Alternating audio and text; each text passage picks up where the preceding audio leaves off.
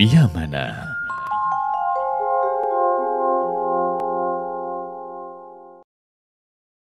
සුබ සන්ධ්‍යාවක් ආනන්දනීයයි. ආනන්ද සමරකෝන් මැදිරී. ප්‍රිය මිතුරුමිතුරීනි ගීතය නාද සිත්තමක් නම් කාව්‍ය සිත්තමක් නම්. එය සිත්තම් කරන්නේ ගෙත්තම් කරන්නේ කවුරුන්ද. මූලිකව පාර්ශයන් තුනක්. ගීපද රචකයා සංගීත රචකයා මානව හඬ එක් කරන ගායකයා හෝ ගායිකාව. මේ නවමු අලුත් හැඩයක් ඇති වැඩස්ටහනින් අපි මුල් තැන දෙන්නේ ගීපද රචකයාට. ඔහුට තමයි ඇත්තටම කතෘත්වය හිමි. අද මේ ලස්සන සන්ධ්‍යාවේ රාත්‍රියේ මෙහි සැපැමිණි ඔබ සියලු දෙනාම. ඉතාමත්ම ගෞරින් පිළිගන්නවා. මේ සංගීත නිම්නේ ස්වරවලට නොරිදෙන්ඩ ස්වරවලට බිඳීමක් ඇති නොවෙන්ඩ ඇවිදයන්ට. සොර බිඳින් දෙපා සොරවලට රිදෙන්ඩ දෙන්න එපා. පරපුරක් වෙතින් ගලායන රසය අලුත්ත විදින පරපුරට. ඒ තමයි ගී වියමන. කලාත්මක ගීතයේ විශිෂ්ටයි භාවිකත්වය භාවිකත්වය කියන්නේ අරුත. ගීතය මීරු සංවේදනයක් විය යුතුයි. වින්දනය විනෝදය ප්‍රඥාව පුබුදවාලිය යුතුයි. ඒ පරම පවිත්‍ර නිර්මල අයිතිය මානම් විශ්වාස කරන්නේ පදරචකයාටයි හිමි. ජීවිතය ගැන විවිධ අර්ථකථන තියෙනවා. ජීවිතය කියල කියන්නේ කඳුල්ල සිනහව, ආතරය වෛරය, හමුවීම වෙන්වීම, දුක සතුට මෙ සියල්ලගේම එකතුවක් එම නැත්නම් සංකලනයක්. ආචාර්ය රත්නශ්‍රී විජේසිංහයන් කියනවා මේ දුක්ඛ දෝමනස්යන් උහුලමින් අපේ ජීවිතය කවියක් කියලා හඟවන්නට ගීත රචකයෙකුට පුළුවන්කම තියෙනවා කියලා. බණ්ඩාර හැලියගොඩ මහත්මයා. කවුද ගීත රචකයෙක් කියලා කියන්නේ? ආයිබුවන් මයිරි ආයිබුවන්. මම හිතන්නේ මේ අවුරුදු දෙකකට පස්සේ එළියට බහපු පළවෙනි වතාව පහුගිය ටිකේ ටිකක් මම අසනීප ගතියෙන් හිටපු හින්දා ඒ එළියට බැස්සෙත් ගුවන් විදුලියට වීමම විශේෂයක්. සතුටක්. විශේෂයෙන්ම කියන්න ඕනේ මොකද ගීත රචකයෙක් කියලා කියන්නේ සමාජයේ අනික් සියලු ඔබ මුලින් කියාපු සියලු සතුට දුක සියලු දෝමනස්යන් අත්විඳින තවත් පුද්ගලෙක් තමයි. නමුත් ගීත රචකයා ගීත රචකයා සැබවින්ම කවියෙක්. කවියාට වඩා විශේෂත්වයක් වන්න ගීත රචකයාගේ. ඔහුට මේ රිද්මය සහ ගායනය කියන දෙක පිළිබඳවත් කිසියම් අවබෝධයක් තියෙනවා නම් ගීත රචකයෙකුට තමන්ගේ කාර්යය වඩාත් පහසු කරගන්න පුළුවන්. මොකද කවියාට නවකතාකරුවට චිත්‍රපටකරුවට ඕන තරම් වෙලාව තියෙනවා තමුන්ගේ නිර්මාණ වපසරිය ඉදිරිපත් කරන්න. නමුත් ගීත රචකයාට තියෙන විනාඩි 3ක 4ක කාලයක් විතරයි. ඒ සංක්ෂිප්තව තමන්ගේ අදහස ශ්‍රාවකයාට නැත්තම් ප්‍රේක්ෂකයාට දැනෙන්න ඉදිරිපත් කරන්න පුළුවන් නම් ඒ තමයි ගීත රචකයෙකු සතු විශේෂ වටිනාකම සහ වගකීම. කවිය ගැඹුරුයි. ගීතය සුන්දරයි. දැන් බණ්ඩාර ඇහැලියගොඩ මහත්මයා ඔබ කොහොමද ගීත රචකයෙක් වුණේ? ඒ කියන්නේ ඔබ මුල් කාලේ කවියෙක්ද? මයිරි මෙහෙමයි මගේ ජීවිතේ මම අසුවල් කෙනා විය යුතුයි කියලා කවදාකවත් මම හිතාගෙන හිටියේ නෑ. අපේ අම්මා තාත්තවත් එහෙම මම අසුවල් තැනට යොමු කරන්න ඕන කියලා. එහෙම එහෙම මුලින් పూర్ව නිගමනවල හිටියේ. අපි ඉතින් පාසල් ගියා. ගෙදර කටයුතු කළා. කුඹුරු වැඩ කළා. පතල් කැපුවා, කිරි කැපුවා. ඌව කරගෙන හිටියා. ඉතින් ඔය අධ්‍යාපනයේත් කරගෙන ආවා. කරගෙන එන අතර වාරේ මම ඉපදුනේ එල්ලාවල පරණගම කියලා හැලියගොඩ ප්‍රදේශයේ අතිශය සුන්දර ගමක. ඒ ගම හරි සුන්දරයි. බෙල්ලෙලි, කඳු වැටි, ඇලදොල, ගහකොළ, සතාසීපාව සියල්ලංගෙම පරිපූර්ණ ගමක්. ඉතින් ගමේ ඉන්නකොට ගමේ මේ මේවට අමතරව විවිධ සංස්කෘතික කටයුතු බොහෝ ගම්වල වගේ අපේ ගමෙත් තිබුණා. කියන්නේ අ, පෙරහැරවල් තිබුණා එතනින් ගියාම තොවිල් පවිල් යන්ත්‍ර මන්ත්‍ර තියෙන නැටුම් අර ඒවා තිබුණා ඊට අමතරව කවි මඩු තිබුණා සල්පිල් තිබුණා තොරන් තිබුණා විවිධ දේවල් වලට සංස්කෘතික කටයුතු වලට මුල ඉඳලම අපේ නැඹුරුවක් තිබුණා. මොකද අපේ පවුලේවත් પરම්පරාවේවත් එහෙම අ, ගීත රචකයෙක් හෝ කවියෙක් හෝ එහෙම පූර්ව දර්ශයක් තිබුණේ නැහැ. මගේ මහප්පා කෙනෙක් පමණක් හොඳ නැට්ටුවෙක් වෙලා හිටියා. ඔහුගෙන් තමයි මම රිද්මය හඳුනාගත්තේ. ඒ නිසා ඒ ඒ අවට පරිසරය තුළ මේ මට දැල්වෙච්ච කවිසිතිවිලි සහ ආ, ඒ කවි මම කවියට නගන්න පටන් ගත්තා. පුවත්පත් වලට ලිව්වා. විශ්වවිද්‍යාලයේත් මම කවියටත් වඩා මම කළේ නාට්‍ය. ඊට පස්සේ කොළඹට ආවට පස්සේ තමයි ධර්මසිරි ගමගේ ශ්‍රීමතානන් මුණ ගැහිලා එතුමාත් එක්ක කටයුතු කරන අතරවාරයේ තමයි ගීත රචනයට යොමු වුණේ. ගීත රචනයට එන්නේ ඉස්සර වෙලා මම අවුරුදු 10ක් විතර ගීත පරිශීලනය කළා. හෙව්වා. ගීතවල තියෙන ප්‍රභේද, ඒවයි තියෙන වියුක්ති, ඔය සියලු දේවල් බැලුවා. අම්මා කියන ගීතය ගත්තොත් අම්මා ගැන කියන ගීත නම් ගීත 10ක් 12ක් අරගෙන ඒවයි වෙනස්කම් බැලුවා. එම පොඩි පරිවාස කාලයකින් පස්සේ තමයි මම ගීත රචනයට එළඹුණේ.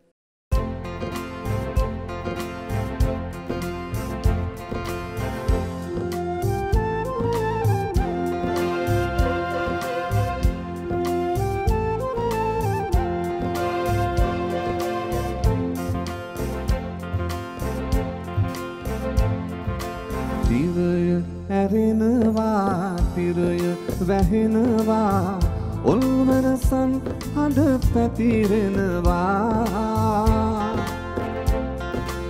සඳලු තලින් බැස මානවිකාවන් තාලෙට ඉඟ සුඟ නටවනවා. දිවය ඇරෙනවා තිරය වැහෙනවා. ඔල්වනසන් හඬ පැතිරෙනවා. සඳලු කලින් බැස මානවිකාවන් තාලෙට ඉඟ සුඟ නටවනවා.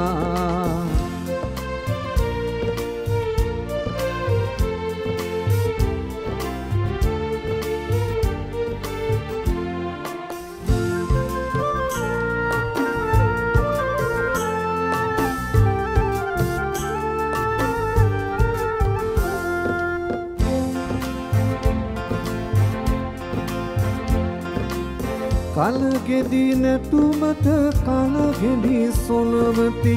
නලවතුරෙන් සෙනහෙන දරුවෝ ගොයම් නැටුමකට දෑකැතිලෙලවති කුගුරක් ඇස නොගැටුන දරුවෝ තිරය ඇරෙනවා තිරය වැහෙනවා. ඔල්වරසන් හඬ පැතිරෙනවා. සංගදුතලින් බැස මානවිකාවන් තාලෙට ඉඟ සුඟ නටවනවා.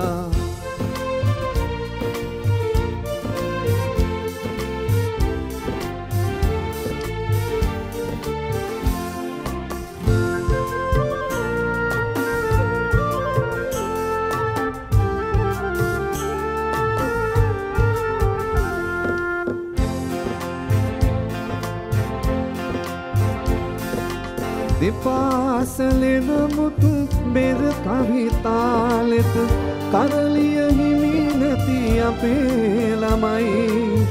ඊනට කුඹුරට කටසහිතිය කර කරලිය අභියස බලාහිරේ. දිවය ඇරෙනවා තිරය වැහෙනවා ඔල්වරසන් හඬ පැතිරෙනවා. සඳලු තලින් බැස මානවිකාවන් කාලෙට ඉඟ සුඟ නටවනවා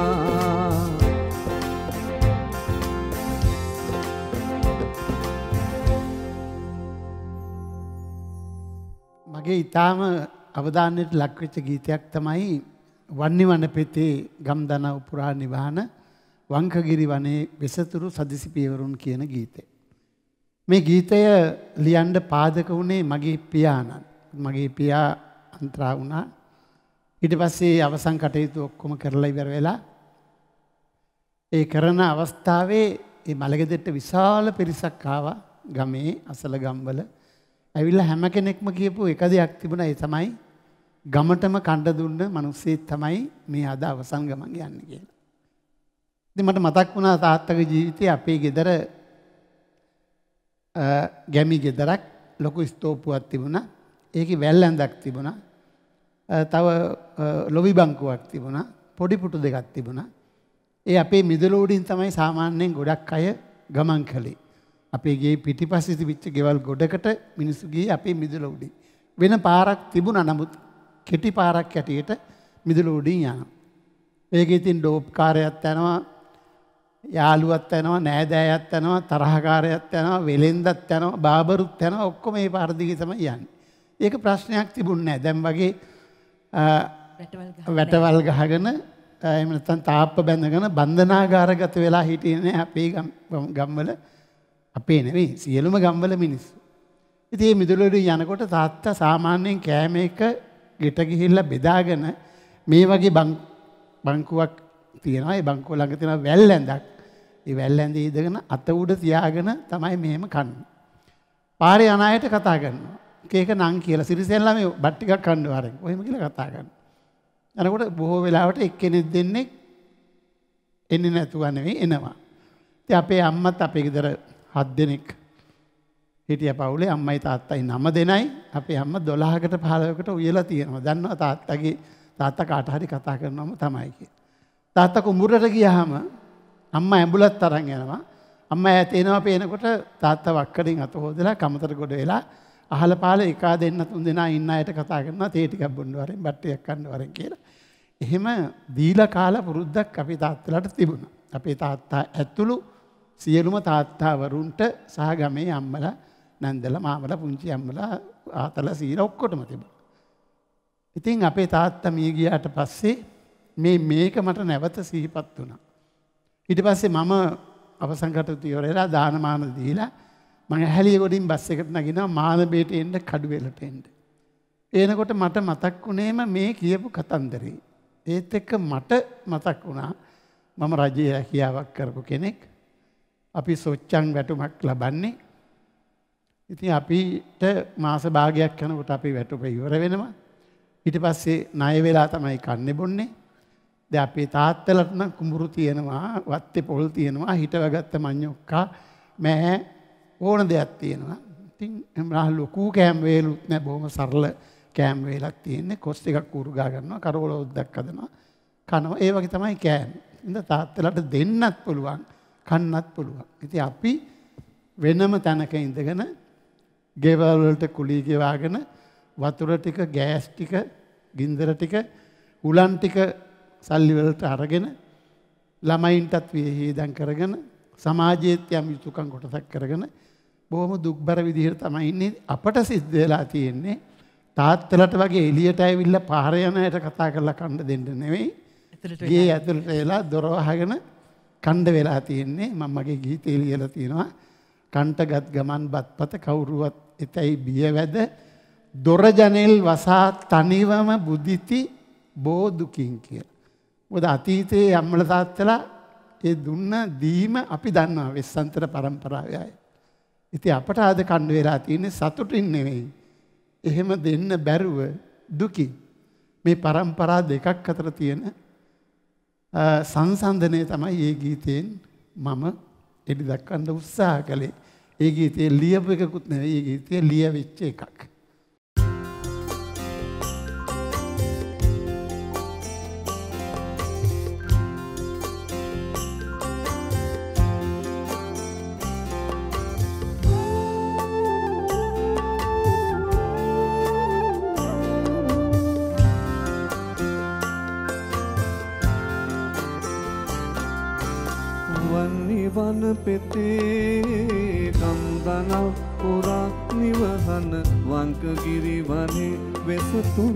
වෙසතුරු සදිසි පියවරුන් අත්මුදුන් තබා බැතියෙන් වන්දනා කරම් වන්නි වන පෙතේ කම්දනා පුරා නිවහන වංකගිරිවනි වෙසතුරු සදිසි පියවරුන්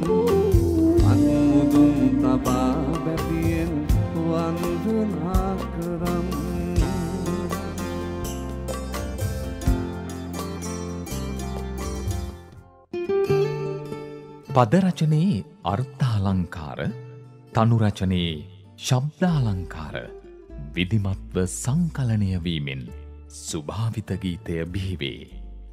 ගීතයට අවශ්‍ය මූලික රටාව මෙන්ම රටාව තුළ පැනනගින රිත්මය හා විරාමයද ඇතිකරනු ලබන්නේ ගීත රචකයා විසිනි. තනු නිර්මාණයේ යෙදෙන්නා විසින් විස්ථාරණය කරනු ලබන්නේ මෙම මූලික රටාවම බව පැහැදිලිය. ඒ අනුව ගීතයට මధుරත්වය ආරෝපණය වන්නේ භාෂාවෙනි. ගීයක වියමන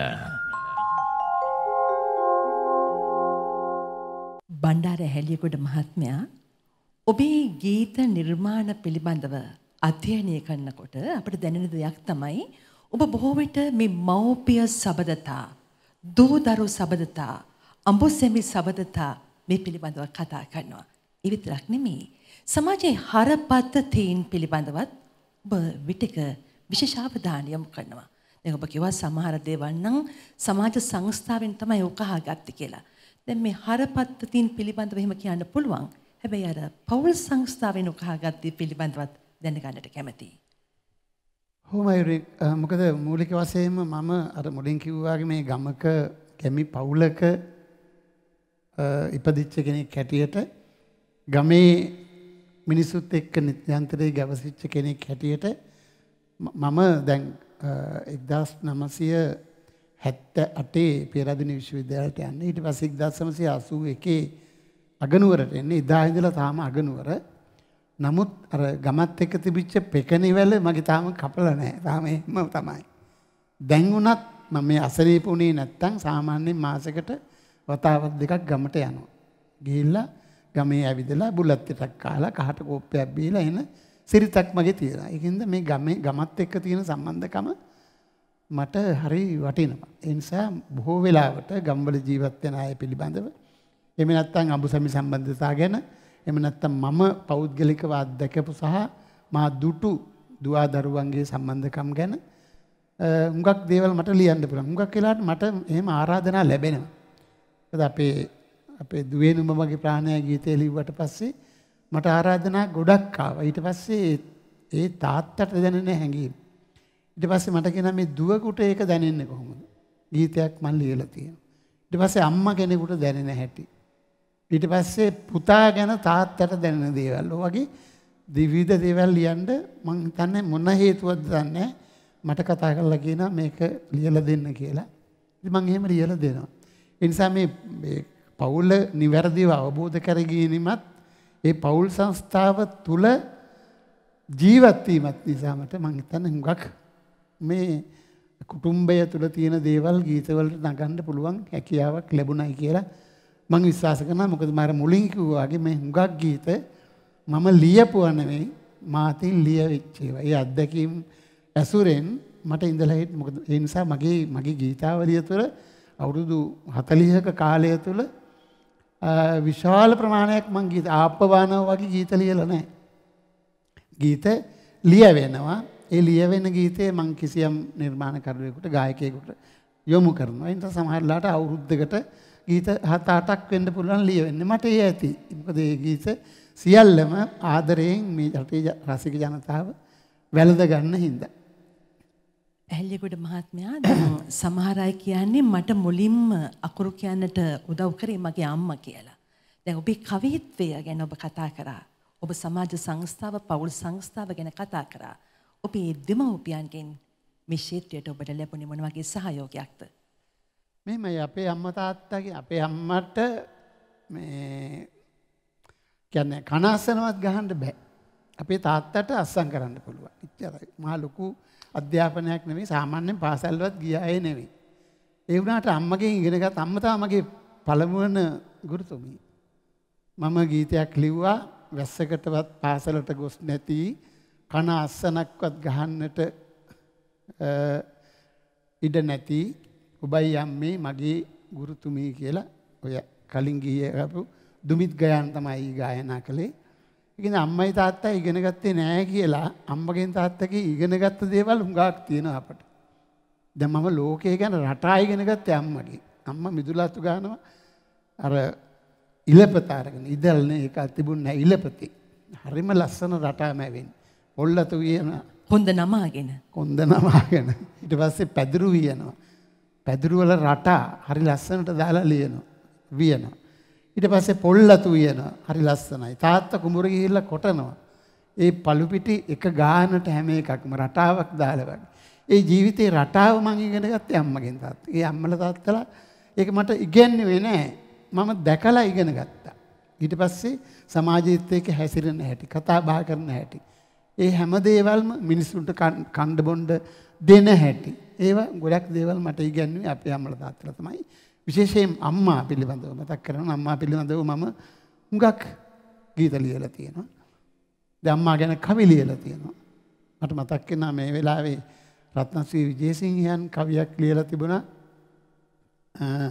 ඒ කවිය තමයි මැඩලා වී ටිකක්වත් නැත මල්ලකට දරුවොත් එක්ක මං තනි වී ඉන්නකොට අම්මා ඇවිත් හීනෙන් රෑ දොරකඩට ඇහුවා මගේ පුතේ කිරි ඕන දුඹට ඊට පස්සේ ප්‍රේමකීර්ති ලියතන උණුසුම නලලතේ අත්ලෙන් මැන්නාය වෙදකට ගියේ පොරවා කරපින්නාය මලපොත අකුර මට පහදා දුන්නාය දෙවියන් බුදුන් මෙන් මා ළඟ උන්නාය කියලා. මම ලියලා තියෙනවා දරුවන් වදන්නට හැකි වූ පලියටම අම්මා වෙන්න බෑ හැම ගැහැණියකටම කියලා. ඒ නිසා අම්මා පිළිබඳ මතකය අදත් මට ඊටාම සංවේදී හැඟීමක්. මට විතරක් නෙවෙයි. ඕනම කෙනෙක් අම්මා පිළිබඳව මතක් කරනකොට ඒ සංවේදීකම තියෙනවා. ඒ මං හිතන්නේ මං අලුතෙන්ම ලියාපු ගීතයක්. මෑත කාලේ ගීත ලියෙන්නේ නැහැ කියලා කියන කාලේ. පහුගිය කාලේ මට විශාල ඉඩක් තිබුණා මේ අසනීප ගතියින් ගෙදර ඉන්නකොට. ඒ ගීතයක් රචනා කළා නවරත්න ගමගේ සංගීතවත් කළේ. ඒක ගායනා කළේ අපේ නව පරපුරේ තාම දක්ෂකම් දක්වන ඉන්දික ලියනගේ මං හිතන්නේ මට කියන්න ඕන සියලුම කතන්දරේ ගීතය තුල තියෙනවා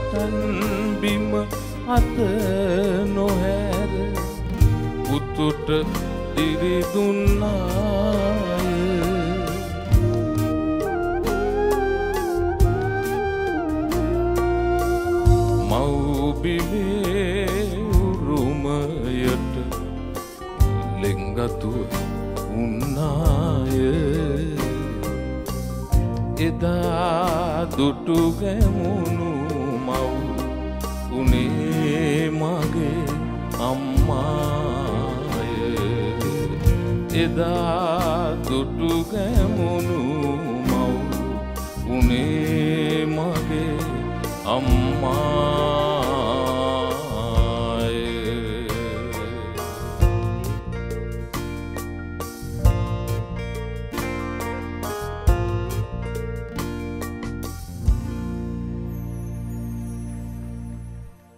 ලෙහෙනිය වෙලා දරුවන් බේරගණ්ඩ මූදට බැහැල වලිගෙන් දියයිස්ස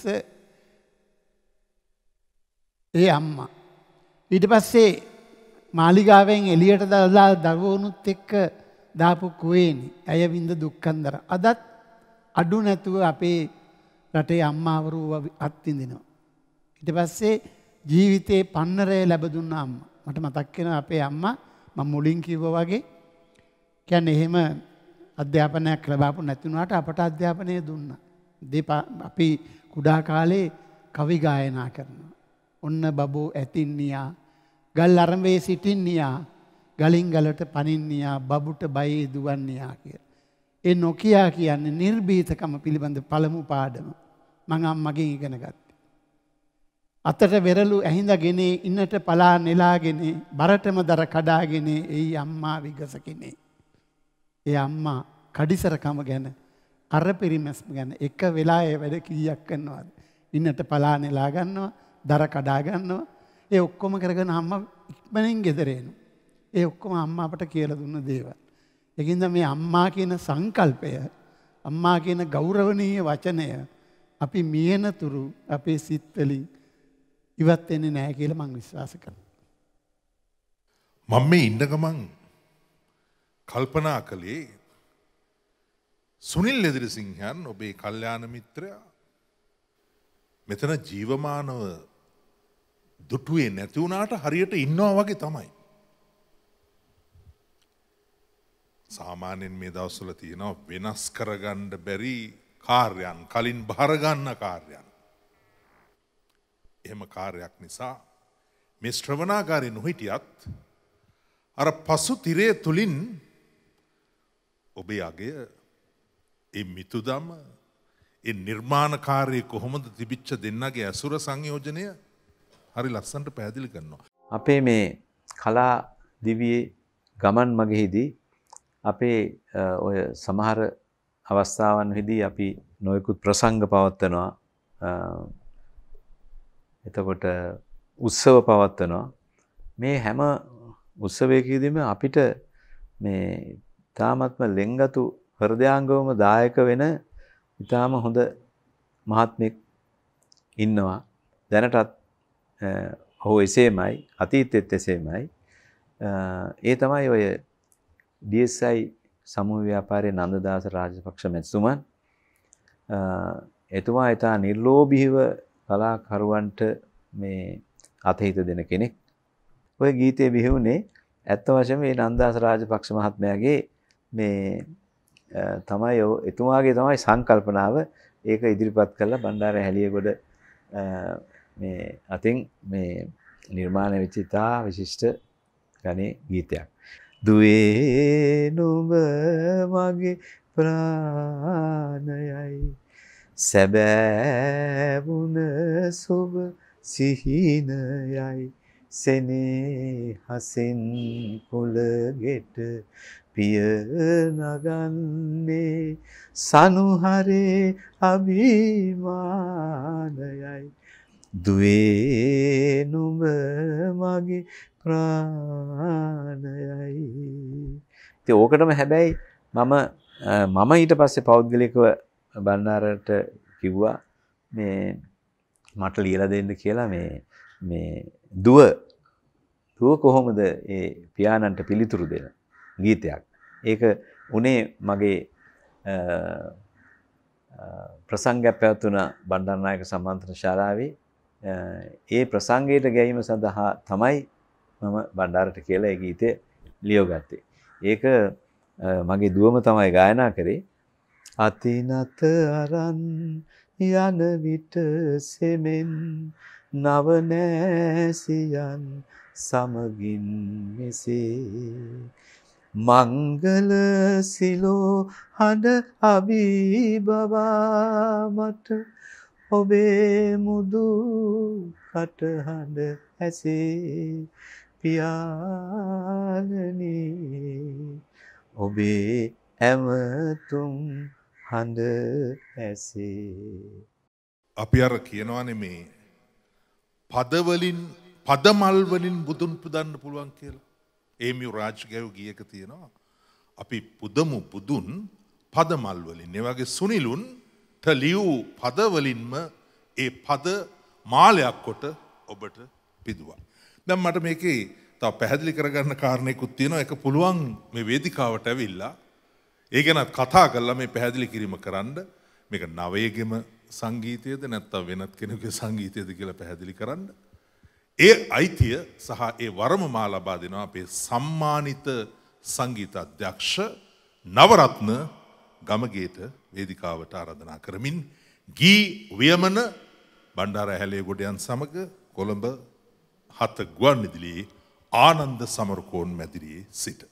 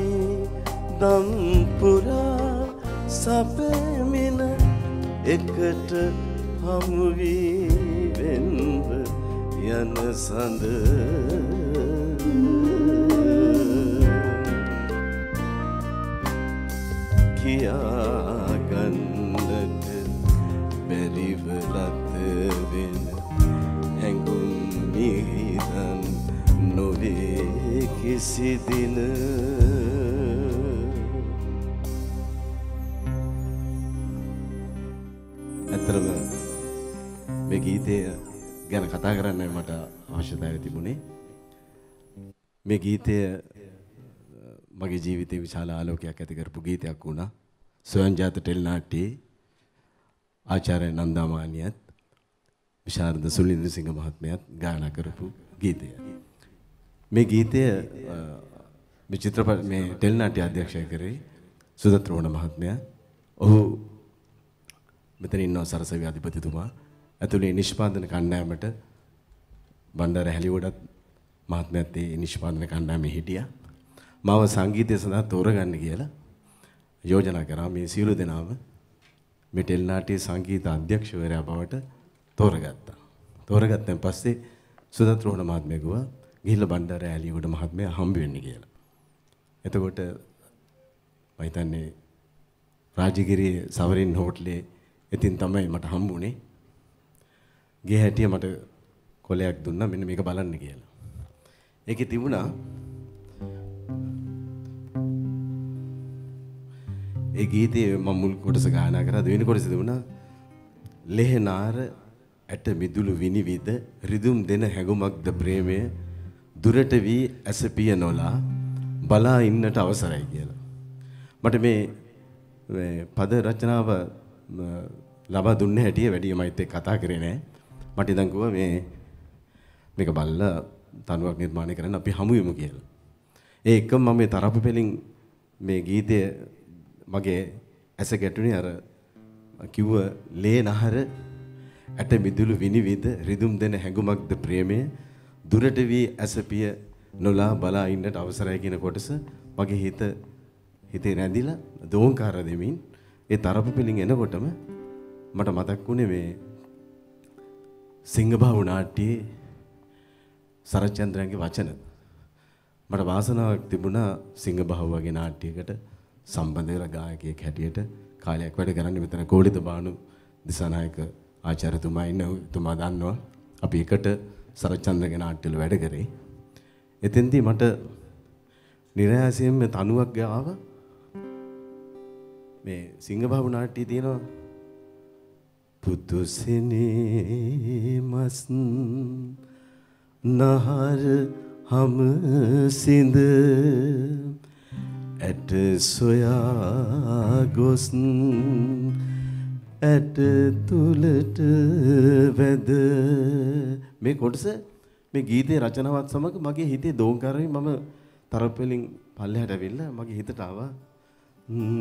ලේනහර ඇට මිදුළු විනිවිද? රිදුම් දෙන හැඟුමක්ද ප්‍රේමය? මම මොනක්වත් කියන්න නැතුව පල්ලෙහාට ඇවිල්ලා ඒ දුන්න කොලේම කොටසක තාමත් ඉදින් මේ සරවලින් මම මේක සටහන් කරගත අමතක වෙන්න කලින්. මං ඒ කොටස හිත හිතේ දෝංකාර දෙමින් තියෙන කොටසක් හින්දා මම සර කොට්ටාසි ලිව්වා. මම මේ කතාව වෙනින් පැත්තකට පොඩ්ඩක් අරගෙන යන්න ඕනේ. ඒ කියන්නේ සංගීතමය අදහසක් කියන්න. මේ වගේ ස්වර ලියන්න පුළුවන් අතිදක්ෂ සංගීත අධ්‍යක්ෂවරයෙක් තමයි නාරක අංජන කුමාර කියන්නේ. හරියට පෙම්වතියකට ලියුමක් ලියනවා වගේ මේ සුදු කොලයක ඉඳන් මුලින් ඉඳන් අගට ඒකේ හැම ශබ්දයක්ම ලියන්න පුළුවන් සංගීත අධ්‍යක්ෂවරයෙක්. මම ඒක කියන්න ඕනේ කිව්වේ නැත්නම් ඒක මගේ හිතට හරි නෑ. ඊට පස්සේ ඒ සරඩිංග කොටස් ටික ලියාගෙන මම ගෙදරට ගිහිල්ලා ඉවරලා සර් පිනාවෙන් මගේ අනිත් නිර්මාණ කටයුතු කරලා මම කිව්වා සුදත්ට මෙහෙමයි සුදත් මම මේක හැදුවා මේ විදිහට ආවේ කියලා. ඊට පස්සේ අපි එකට එකතු වෙලා ඒ නිර්මාණය කරා. බණ්ඩාර හැලියකොට මහත්මයා සුනිල් ඉදිරිසිංහන් කියනවා වගේ මේ කලන මිතුරු ඇසුර ලොකු භාග්‍යයක්. පැහැදිලිවම මයුරේ මොකද මේ මගේ ජීවිතේ මිත්‍ර විශාල ප්‍රමාණයක් ලැබිලා තියෙනවා. මං ඒ එක්කෙනෙක්වත් අතාරින එක්කෙනෙක් නෙවෙයි. මගේ පාසල් පුංචි පාසලට ගිය මිතුරන් අදත් මාත් එක්ක ඉන්නවා. ඊට පස්සේ ඇහැලියගොඩ මධ්‍ය මහාවිද්‍යාලයේ හලාවත එලිප්පදිනිය විද්‍යාලයේ විශ්වවිද්‍යාලයේ රස්සාවල් කරපු තැන්වල කීප තැනක ඊට පස්සේ කලා ක්ෂේත්‍රයේ හැම කෙනෙක්ම මම අතාරින්නෙත් නැහැ මාව අතාරින්නෙත් නැහැ. මොකද ඒක මට තදින්ම දැනුණ එකක් තමයි. පහුගිය කාලේ මම දැඩි ලෙස ගිලන්න හිටියා. ශල්්‍ය කර්ම දෙකක් කරන්න වුණා බරපතල විශාල මුදලක් වැය කරන්න වුණා. මම නොහිතූ විදිහට මගේ මිත්‍රයෝ එකවරක් විතරක් හමුවුණු මිත්‍රයෝ පවා මා ළඟින් හිටියා. මට විශාල ශක්තියක් වුණා. ඒ සියලුම ශල්්‍ය කර්මවල බරපැන කිසි නිර්ලෝභීව වුන් දරුවා. මෙතනත් ඉන්නවා නන්ද අත රාජපක්ෂ මහත්තයා ජයන්ත සරම්දාස මහත්තයා අපේ ප්‍රේමසිරී මහත්තය වගේ අය ඒ ඇතුළු කණ්ඩායම තවත් විශාල පිරිසක් ඉන්නවා. අපේ ඉතාලී ඉඳලාපු කරුණාසෙන පට්ටියගේ මිතුරා ඒ වගේ විදේශගත මිතුරන් සියලු දෙනාම මට ශක්තියක් වුණා. ඒ නිසාම තමයි මට අර සුනිල් කිව්වා වගේ මිතුරාණනය කියන ගීතය ලියන්න උත්තේජනය සැපයුවේ ඒ මිත්‍රයන්ගේ ආශිර්වාදය සහ අනුග්‍රහය සහ සහය සහ ආදරය. එනිසා මං හිතන්නේ මේ මිතුරු ඇසුර කියන එක අපිට අවශ්‍යයි. අපේ අවසන් පෙට්ටියට යන මොහොත දක්වාම ඒ මිත්‍රත්වය පවතින්න ඕන අපි මිත්‍රත්වය නැති කරගන්නෙත් නෑ මිත්‍රත්වයට වන්දනාමාන කරන පිරිසක් තමයි අපි.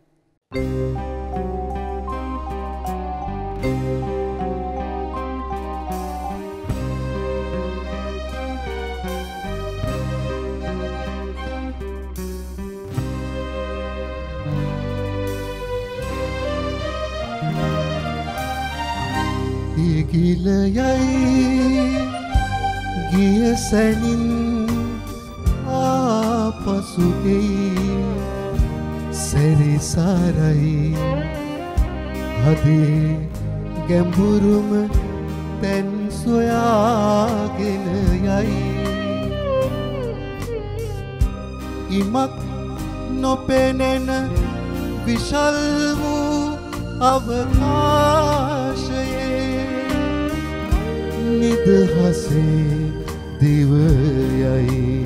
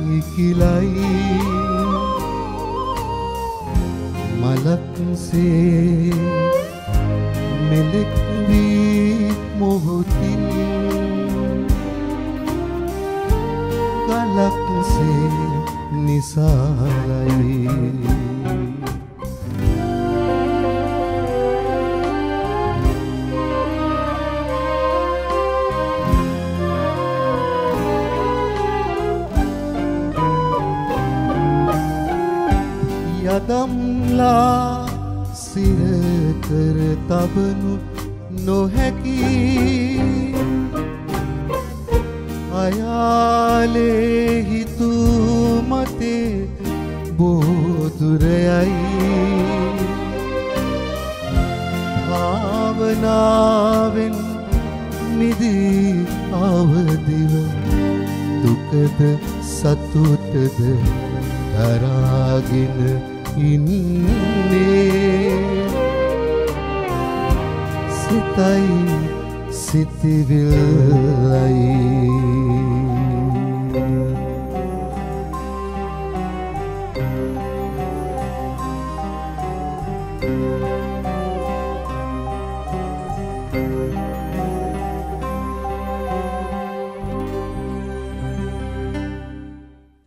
ඒ ගීතය රචනා කළේ තනි අතට යන පාර කියන ටෙලි වෘතාන්තයට. එය අ, අධ්‍යක්ෂණය කළේ ලලිත් රත්නායක අපේ රටේ ඉතා ප්‍රකට ප්‍රශස්ත නිර්මාණ නිර්මාණකරුවෙක් ප්‍රේමසිරී මහත්මයා ප්‍රමුඛ අපි කණ්ඩායම තමයි ඒ ටෙලිනාට්‍ය නිෂ්පාදනය කළේ. දැන් ඒකේ තේමා ගීතයක් ලලිත් රත්නායකගේ හුඟක් ටෙලිනාට්‍යවල තේමා ගීත නැහැ. නමුත් ඔහුට ඕන වුණා මේ සඳහා තේමා ගීතයක් රචනා කරන්න. ඔහු මාත් එක්ක කතා කළා. මේ ටෙලිනාට්‍ය ඔබට මතක නම් රූපවාහිනී ප්‍රචාරය වුණා. ඒක තියෙන්නේ මානසික රෝහලක් වටා. ඉතින් මට මේ තේමා ගීතය ලියන්න කියපුවාම මගේ ඔළුව ගියේ මේ සිත සහ සිතිවිලි ඒකාත්මික කරන්න බැරි පිරිසක් තමයි මානසික රෝහලේ ඉන්නේ. ඒ නිසා සිත මුල් කරගත්ත නිර්මාණයක් තමයි මම තේමා ගීතය හැටියට මාතින් ලියවුණේ. ඒ ගීතය අතට ගත්ත ගාම ලලිත් රත්නායක බෙහෙවින්ම සතුටට පත් වුණා. ඊට පස්සේ නාලක අංජන කුමාර මං හිතන්නේ ඒකට ඉතාම ඒකට සුදුසුම තනුව නිර්මාණය කළා. ඊට පස්සේ මම්මයි ආරාධනා කළේ කෝලිත බාන්ධ සහනායකයන්ට එතුමා ඇවිල්ලා ඉතාම අපුරුවට ගායනා කළා. ඒකින්ද මං හිතන්නේ ඒ වසරේ ගීත රචකයාට සංගීතඥයාට සහ සංගීතවේදියාට සම්මාන දෙන්න වැඩි දුර යන්න ඕන උනේ නෑ. ඒ නිර්මාණය ඉතා ප්‍රශස්ත නිර්මාණයක් කියලා තේරුම් ගත්තා සංගීත සම්මාන උලෙලවල්ල රූපවාහිනී සම්මාන උල්ල මම හිතන්නේ රයිගම් රාජ්‍ය රූපවාහිනී ඒ සම්මාන උල්වල සම්මාන අපට ලැබුණා.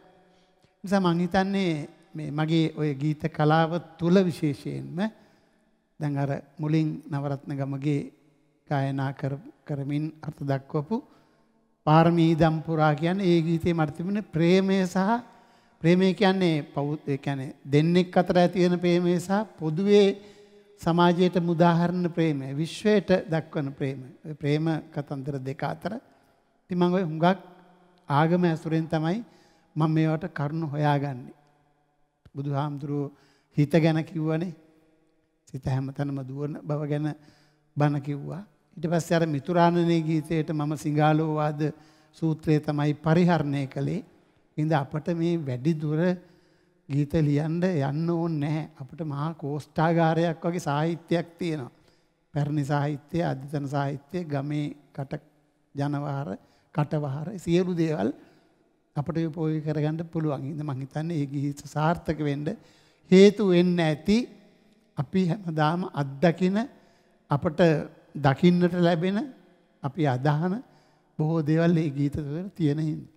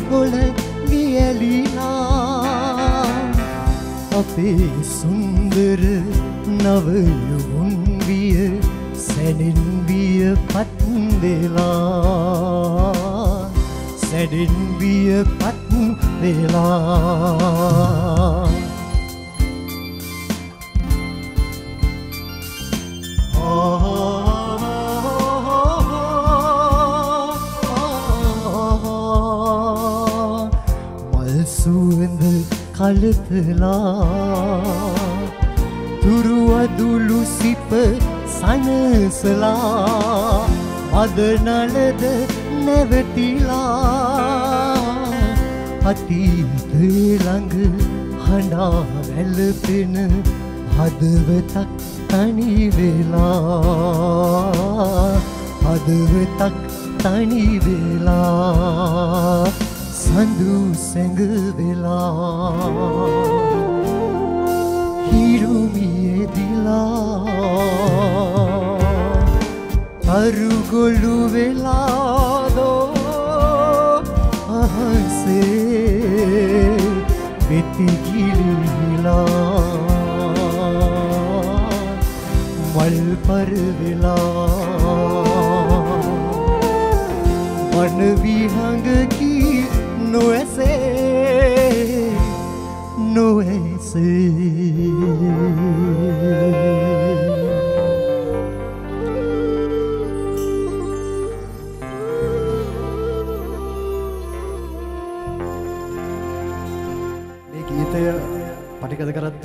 කරද්දී මම අට වසර නිසා පටිගත කිරීමට නවරත්නක්ස හා සමග මගේ පියා සම්බන්ධන මම දැක්කා.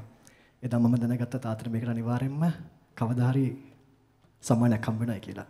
ඒකට ඔබතුමාටත් නවරත්න සර්ටත් මගේ ප්‍රණාමය ගෞරවය හිමි කර දෙනවා. නාලක සර්ටත් මගේ තාත්තටත් ස්තුතියි හැම දිනටම ජය ජය වද පිටයි. ඉතින් මේ මොහොතේ අපට බණ්ඩාර හැලියගොඩ සහෘදය වෙනුවෙන් පුද කරන්නට තිබෙන තිලිනයන් සමරු තිලිනයන් ප්‍රධානය කරන්නට ඉතාම ගෞරෙන් මා වේදිකාවට ආරාධනා කරනවා. ශ්‍රී ලංකා ගුවන්විදුලි සංස්ථාවේ සභාපති හඩ්සන් සමරසිංහ මැතිතුමන්ට ඩාලි බට්ලර් සහ සමාගමේ අධ්‍යක්ෂ සංජීව ගුණවර්ධන මැතිතුමන්ට ගීත නිර්මාණක සංසදය ඔස්කා ආයතනය වෙනුවෙන් එහි සභාපති ආචාර්ය ජයන්ත ධර්මදාස මැතිතුමන්ට. සියලු දෙනාගේම ප්‍රසාදය අකුල සම්ප්‍රසාදයක්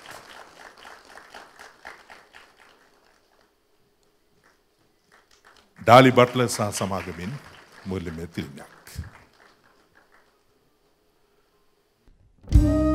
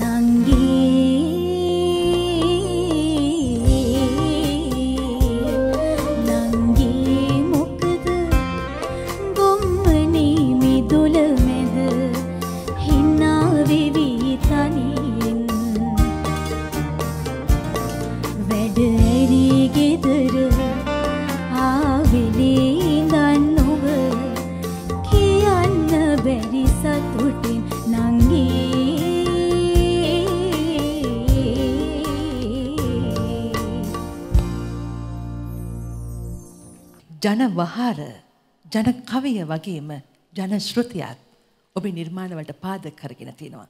විශේෂ හේතුවක් තියෙනවාද? එහෙම විශේෂ හේතුවක් උත් නෙවෙයි මයුරී මොකද අපි සාමාන්‍යයෙන් අපේ ගම්වල ওই සියලු දේවල් තියෙනවනේ. මොකද අපේ තොවිල් පවිල් වල ඇහෙන කවි ගායනා. එහෙම නැත්නම් පෙරහර වල ඇහෙන ජසයලෙන්චිනා සඳකින්දුරි. ඒ වගේ ඒවා ඇහෙන ගායනා. මේ හැම තැනකම අපට අර අපේ කමේ යම් යම් ලක්ෂණ තියෙනවා. ඒවා අපේ ඇඟට දැනෙනවා. මම අර මුලින් කියපු අපේ මහප්පා අන්න බලන් බෙරහඬින් උදම් වී ගීතේ ලියන්න පාදක වෙච්ච මහප්පා ඊටාම දක්ෂ නැට්ටුවෙක්. මම මහප්පා ළඟ නටුන් ඉගෙන ගත්ත වෙස් බැඳපු නැට්ටුවෙක් මමත්. මම වෙස් බැඳ නැටුම් කරලා තියෙනවා. ඒ මහප්පාගේ ගායනාවල තියෙන ඒ ඒ රිද්මයට මගේ කන හුරු වෙලා තිබුණා. මුල මුල් කාලේ ඉඳලා. ඊට පස්සේ මගේ අතපයත් ඒවට අනුගත වෙලා තිබුණා. හුරු වෙලා තිබුණා. සා ඊට පස්සේ මම අධ්‍යාපනය හදාරනකොට සිංහල විෂය පාසලේ සහ විශ්වවිද්‍යාලයේ හදාරනකොට ඒ අපේ ගුරුවරු නිර්ලෝභීව මේ අපේ ජනවහර පිළිබඳව බොහෝ දේවල් අපට කියලා දුන්නා. අපට මගේ ගීතවලට ලියනකොට හුඟක් වෙලාවට බෞද්ධ සාහිත්‍යයෙන් ජන සාහිත්‍යයෙන් ඔය හැම දෙයකින්ම කරුණු කාරණා එකට ගොනු වෙන්නේ ඒ නිසා වෙන්න ඇති. මම වඩා කැමති මේ අපට ඊතා හුරු ඒ ජන ශ්‍රුතිය, ජන ගායනා, ජන කවිය ඇසුරු කරගෙන නිර්මාණ කරනකොට ඒවත් එක එකට සම්බන්ධ කරලා ලියන්න. සමාජය ගැන අද බොහෝ මතවාද තිබෙනවා. අද කියනවා එදා වගේ නෙමේ වර්තමාන සමාජය. දැන් ගීත රචකෙක් විදිහට ඔබත් කියනවා මම ගීත මෙපමණ සංඛ්‍යාවක් ලියලා තියෙනවා. හැබැයි නාලිකා ගොඩක් තිබුණාට ඒවා ප්‍රචාරය කරන්නේ නැහැ කියලා. ඇත්තටම බණ්ඩාර ඇහැලියකොට මහත්මයා ගීත රචකයන්ට වගකීමක් තිබෙනවා සමාජයට යම් මෙහෙවරක් කරන්න. ඒ විතරක් නෙමෙයි. සමාජය හරිමකට එවීමේ මෙහෙවර තිබෙන්නේ ඔබ අතේ. ඔබටත් ඒ වගකීමෙන් මිදෙන්න බෑ. මං හිතන්නේ මයුරි ගීත රචකයෙකුට විතරන්නේ සමාජයේ සෑම තරාතිරමකම කෙනෙකුට වගකීමක් තියෙනවා සමාජයේ හැමකට ගෙන යාමේ කාරණේදී. නිවේදිකාවක් හැටියට ඔබටත් ඒ වගේ මාධ්‍ය හසුරවන අපේ සභාපතිතුමා ඇතුළු අයටත් මේ විවිධ තරාතිරම් වල ඉන්න සියලු දෙනාටම වගකීමක් තියෙනවා සමාජයට යම් තැනකට ගෙනෙන්න උත්සාහ කරන්න. ගීත රචකයන් හැටියට නිර්මාණකරුවන් හැටියට අපිට විශේෂ වගකීමක් තියෙනවා. කවියන්ට, ගීත රචකයින්ට, නවකතා කෙටි කතා කරුවන්ට, චිත්‍රපට ටෙලිනාට්‍ය කරුවන්ට ඒ ඒ කාටවත් ඒ වගකීමෙන් මිදෙන්න පුළුවන් කම නැහැ. ගායක ගායිකාවන්ට, නාලකලා නවාලා වගේ සංගීතවේදීන්ට ඒ කාටවත් ඒ වගකීමෙන් මිදෙන්න විදියක් නැහැ. ඒක අනිවාර්යයෙන් අප විසින් ඉටු කළ යුතු වගකීමක්. ඒ නිසාම තමයි මූලික වශයෙන් භාෂාව මුල් කරගත්ත නිර්මාණ තමයි කවිය, ගීතය, නවකතාව, කෙටි කතාව සියලු දේවල්. ඒ නිසා අපි භාෂාව හරියට හඳුනා ගන්න ඕනේ. ඒ භාෂාව හරියට හසුරවන්න ඕනේ. ගීතයක් කියලා කියන්නේ විශේෂයෙන් මම පෞද්ගලිකව විශ්වාස කරන්නේ ගීතයක් කියන්නේ ඉතා සරල ඔය ඉදිරිපත් කළ යුතු දෙයක්. ඒ සරල බව තුල තමයි ගැඹුර තියෙන්න ඕනේ. දැන් අපේ ගුණදාස කපුගේ ශූරීන් ගායනා කරන ගීත අන්දා මාල්ලේ සොල්ල ඉදිරිසිංහ අමරදේව යනාදි වශයෙන් සියලු දෙනාම ගායනා කරන ගීත අතිශයින්ම සරලයි. දැන් මම ලියපු තිරය ඇරනවා තිරය වැයෙනවා කියන ගීතය ඉතා සරලයි. නමුත් ඒ තුල ගැඹුරක් තියෙනවා. ඒ ගැඹුර තිබිය යුතුයි. වර්තමානයේ අපට අහන්න ලැබෙන බහුතරයක් ගීතවල ඒ සරල බව තුළ ගැඹුර නැහැ. ඒකයි වෙලා තියෙන්නේ ගැඹුර අනිවාර්යයි. ඒ ගැඹුර තිබුණ නැත්නම් අපිට සමාජයට පණිවිඩයක් දෙන්න බෑ. අපෙන් සමාජ මෙහෙවර හරියට ඊට වෙන්නේ නැහැ. ඔබ ටෙලිනාට්‍ය ගීත ලියනවා, චිත්‍රපට ගීත ලියනවා, සරල ගීත ලියනවා. ඒ වගේම වේදිකා නාට්‍යත් ලියුවා. ඔව් වේදිකා නාට්‍යවලට මම ගීත රචනා කරලා තියෙනවා. ඒ ගීත රචනා කරනකොට ජයලත් මනෝරත්න අන්දරේලා කියලා නාට්‍යයක් නිර්මාණය කළා. ඒ අන්දරේ කියාපු කයිවලින් ඒ නාට්‍යයට ගන්න පුළුවන් උපරිම ප්‍රමාණය ගත්තට පස්සේ ඒ නාට්‍ය ඉදිරියට ගලාගෙන යන්න තව කවි ටිකක් ලියන්න අවශ්‍ය වෙලා තිබුණා. ඊට පස්සේ ජයලත් මනෝරත්නයන් මේ කවි ටික ලියන්න ගිහින් බාර දෙන්නේ මහාචාර්ය සුනිල් ආරියරත්නයන්ට. ගිහිල්ලා දෙනවා මට මේකට මෙන්න මේ ඉතුරු කවි ටික ලියලා දෙන්න. සුනිල් ආරියරත්නන් කියනවා කවි ලියනවා නම් ඉතින් ඉන්නේ බණ්ඩාර හැලියෙකුට තමයි ගිහිල්ලා දෙන්න එයාට. කියලා මට ගෙනල්ලා දුන්නා. මම ඒකට කවි ලිව්වා. කවි ගොඩක් අන්දරේ කියාපු කවි හා සමානවම ප්‍රමාණයක් මම කවි ලිව්වා.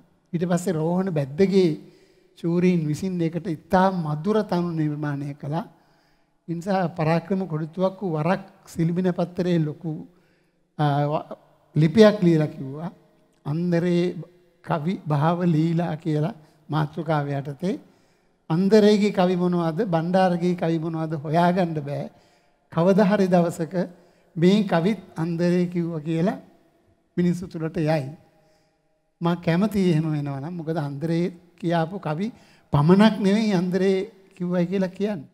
අන්දරේ වගේ දක්ෂ ගොවියෙක් රජවාසලට අරගෙන මොනවා කරන්නටද? රජවාසලට යන්නේ නම් අපේ එකා තමා. ඒත් ඕකෙන් ආපහු එන්නේ අපේ එකාද කියලායි පුරස්නේ. හ්ම්. ආ ඕන් එනවා. අනේ මන්දා. අන්දරේ ගමෙන් ගියාම පාඩුවයි පාළුවයි දෙකම අපට පෙරපදේ තාල මත්තට නෑසේද? සීපදේ හවස් ජාමෙට ගොළුවේද? සකි සඳේ නුඹත් ගම අතහැර යාද හෙට උදේ දකින්නට බැරි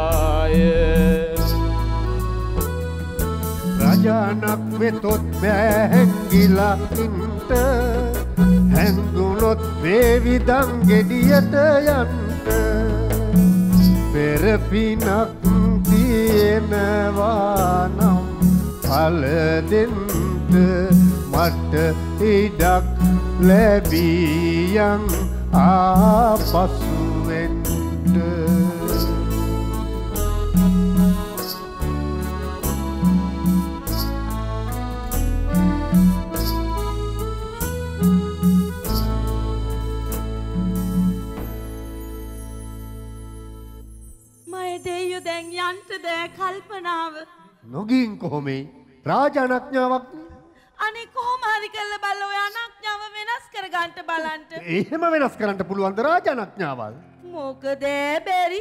ඔය ලොකු ලොකු ඇත්තු කොයි තරන්නම් අනඥාවල් වෙනස් කර ගන්නවද? මය දෙයු ගියාම මායි මගේ දරු පැටියයි තනි වෙනවා. ඇරත් මේ දුප්පත්කමට ගොයිත නබ්බතක් කරගෙන ඉන්න අපි. ඔය මහතැන් වලට ගියාම මොන මොනෝ වේවිද කියලා කවුද දන්නේ?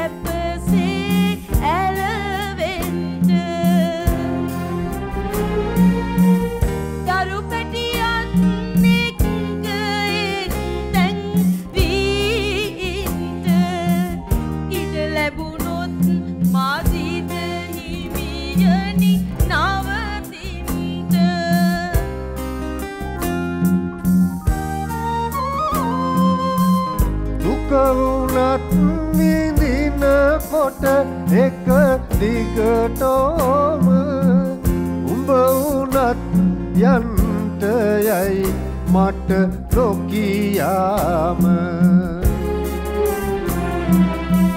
ගොයි තැනක් බතක් කර හිටියොත් මේම හොඳ කාලක් ලබන්නේ කවදද කොම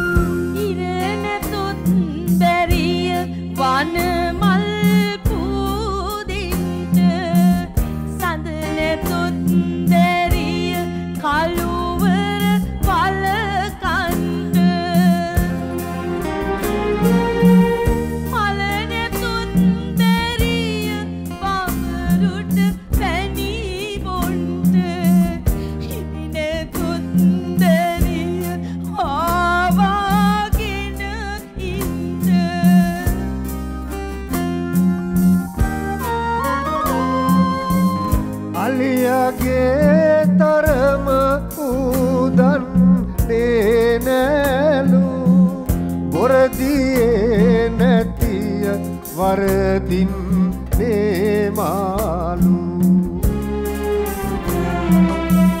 අතමිටේ කිසිත් නැති දවසට යාලු ආදරේ වුනත් පිටමං වෙනවාලු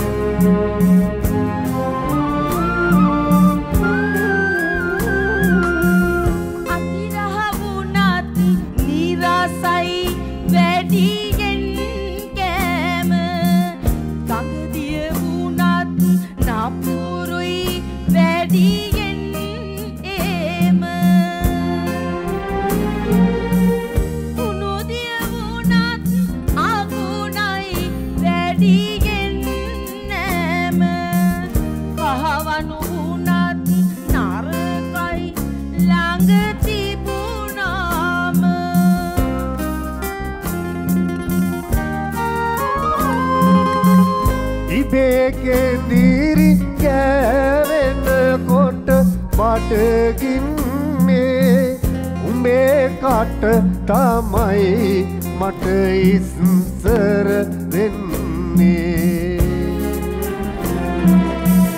ලැබේනම් අනක් මාරජ් දුරුවන්නේ තඹේකට නොසලකා කොහොමද ඉන්නේ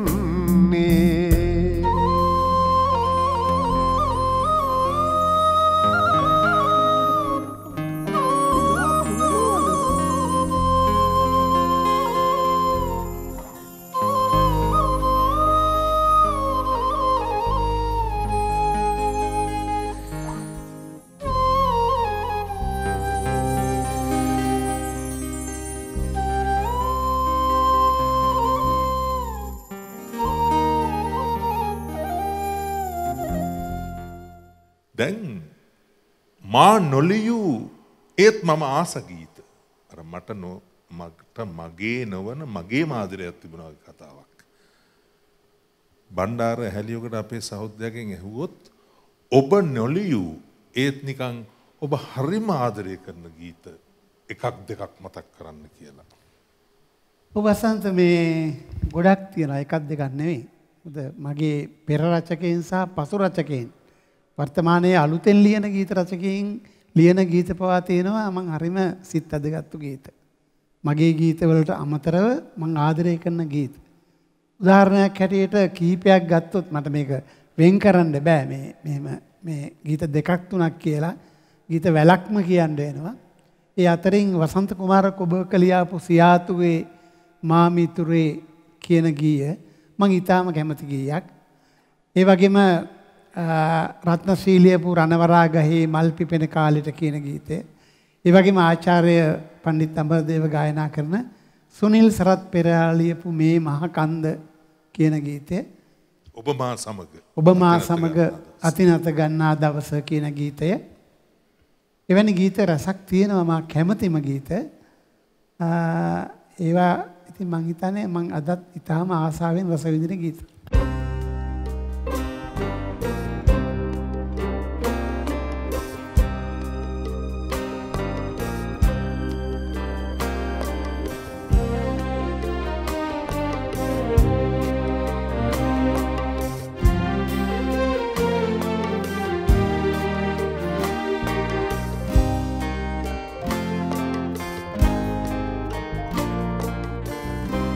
ඔබවා සමඟ අතිනත ගන්නා දවස.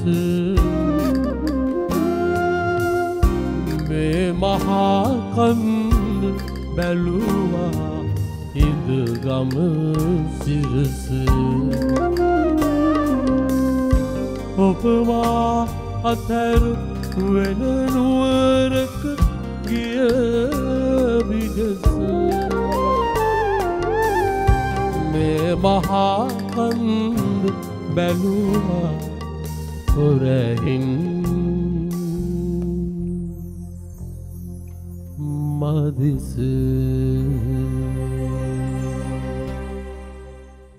බණ්ඩාර ඇහැලියගොඩ මහත්මයා බසන්ත ඇහුවා ඔබ අතින් නොලියවුණු අන් අය අතින් ලියවුණු ඔබ ප්‍රිය කරන ගීත පිළිබඳව. දැන් අපි දන්නවා කාලයත් එක්ක දැන් අපේ ප්‍රගුණ කිරීම නිර්මාණ වේශය වෙනස් වෙනවා. ඒ වගේම අපේ තෘප්තිමත් භාවය පිළිබඳව යම් යම් ප්‍රශ්න තිබෙනවා කාලයක් යෑමෙන්. දැන් ඔබට හිතුනේ නැද්ද? අනේ මා අතින් ලියවුණු මේ ගීතය මන් නොලිව්වා නම් හොඳයි කියලා. මයුර මෙහෙමයි මම මුලිනුත් කිව්වනේ මගේ ඊටාම මේ අවුරුදු 40ක ගීත අ, ලියපු කාල පරාසය තුළ මාති ලියවුණේ ඊටා සුළු සංඛ්‍යාවක් ගීත. මම එහෙම ආවට ගියාට ගීත ලියන කෙනෙක් නෙවෙයි. මට හැඟීමක් ඇති වුණා. දැන් මට නන්දාත් මහත් රාජපක්ෂ මහත්තයා හෝ ජයන්දරදාස මහත්තයා හෝ කියපුවාම ඒක මා තුලත් ඒ හැඟීම ඇති වෙන්න ඕනේ. ඒක ගීතේ ලියන්න. ලියන්න කියලා කිව්වට මෙහෙම ලියන්න පුළුවන් කමකුත් නැහැ.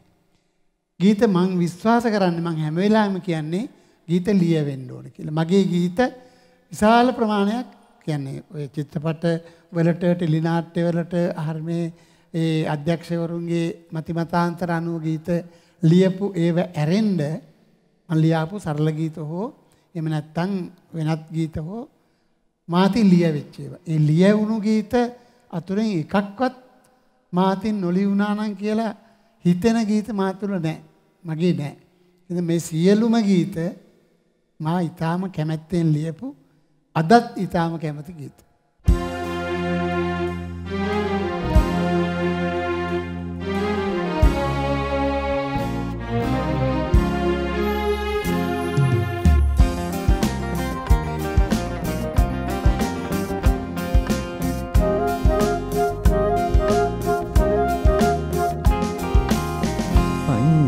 කල්යාණයේ සෞම්‍ය මේරාතේ නින්ද අඩ නින්ද පැටලී විලේ මන්ද නෙතු මතන නොනිදාරනේ පංච කල්යාණයේ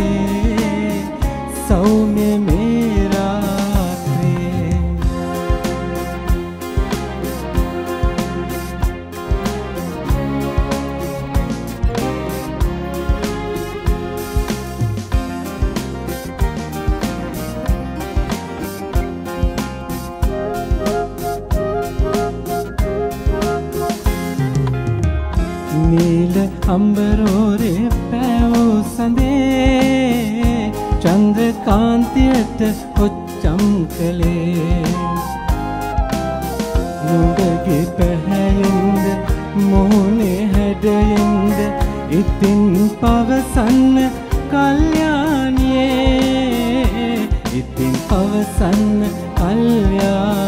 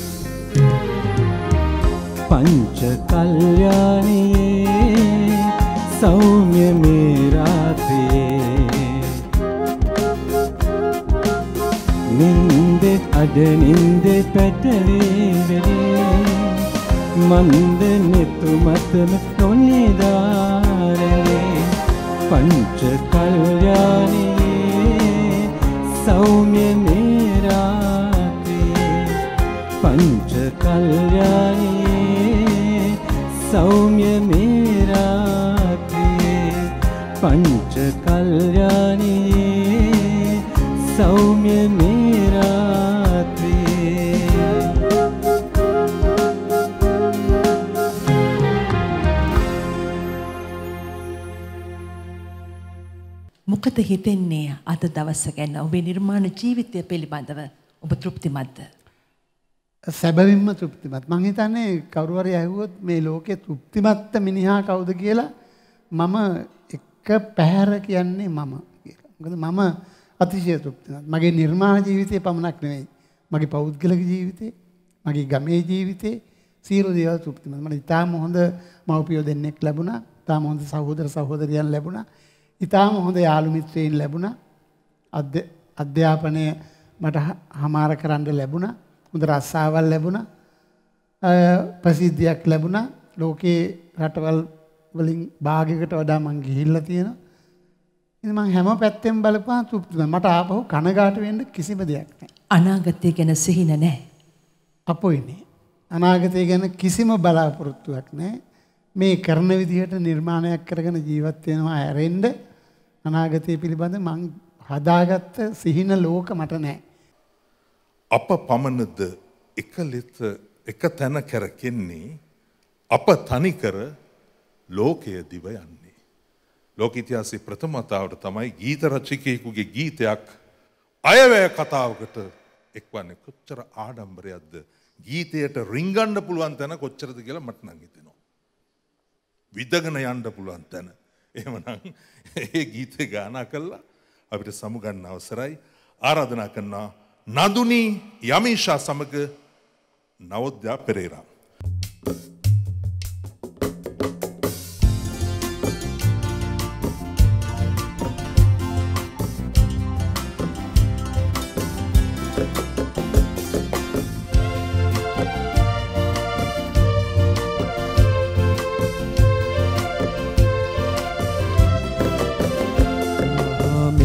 ලෙසට හිතේ උපන් බරට හඬා දොඩා පල නොලබන හින්දා. උදා ලහිරු විලස ඉබී හිඳි මුලොවට සිනා මලක් මුව අත්දර රන්දා මෙරක් ලෙසට හිතේ උපන් බරට හඬා දොඩා පල නොලබන හින්දා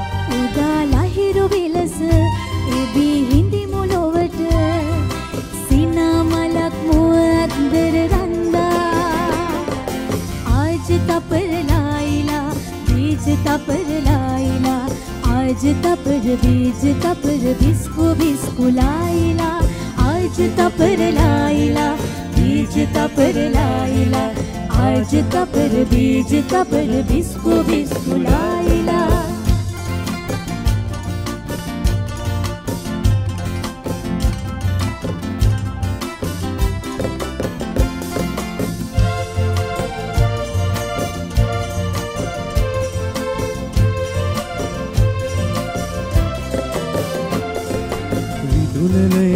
අභිසෙස් ලබමින්නේ සඳමතු පිට පියවර එසවෙන්නේ අප පමණද එක තැන කරතින්නේ අප තනිකර ලෝකය දිව යන්නේ ආජ තපරලායිලා බීජ තපරලායිලා ආජ आज तपर बीज तपर बिस्को बिस्को लाइला आज तपर लाइला बीज तपर लाइला आज तपर बीज तपर बिस्को बिस्को लाइला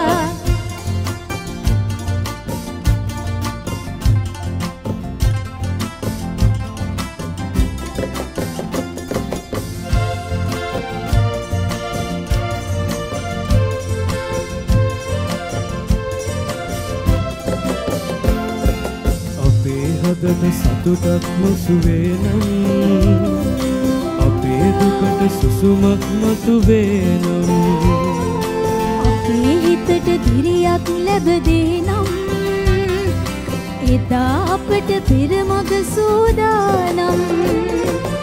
ආජ තපරලායිලා බීජ තපරලායිලා ආජ තපර බීජ තපර බිස්කු බිස්කුලායිලා ආජ තපරලායිලා බීජ තපරලායිලා ආජිත පෙර බීජිත පෙර බිස්කු බිස්කුලායිලා මෙරක් ලෙසට හිතේ උපන් වරට හඬා දොඩා පල නොලබන හින්දා. උදාලා හිරු විලස එබී හිඳි මුලොවට සිනාමලක් මුවත්දර ගන්දා. මෙරක් ලෙසට හිතේ උපන් වරට වඩා දොඩා පල නොලබන හින්දා.